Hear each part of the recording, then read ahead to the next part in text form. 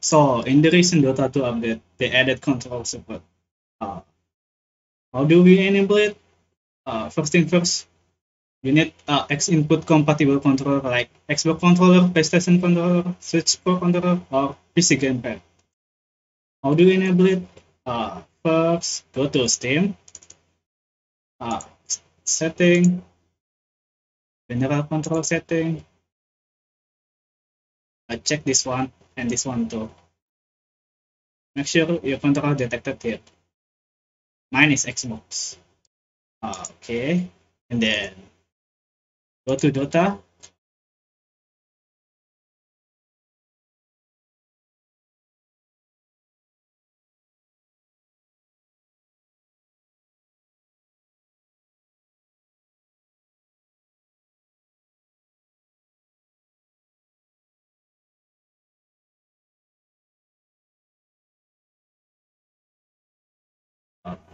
And then go to setting option advanced and enable experimental control support. Checklist this one.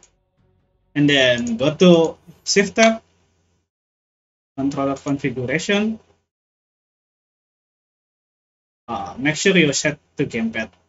Don't use other setting like like don't use this one because the first time I'm using this one, this doesn't work. Let's go with default one, like template, gamepad, and apply configuration. And done. Now you can play Dota 2 with controller. Let's let's play with the most easiest hero. I say Wraith King.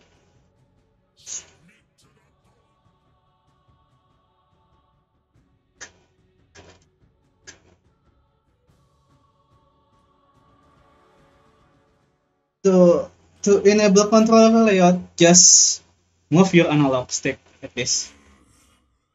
Yeah, you can level up with learn ability with D-pad.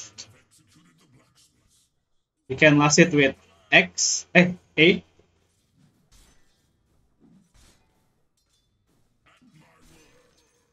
It is literally really smooth though.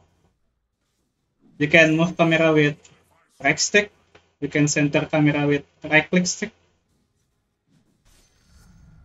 You can open shop with up D-pad.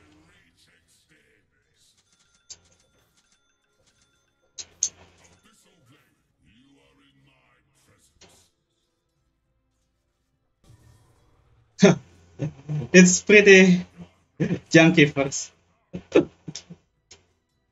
I don't know. This is good though you can blink and stun like this.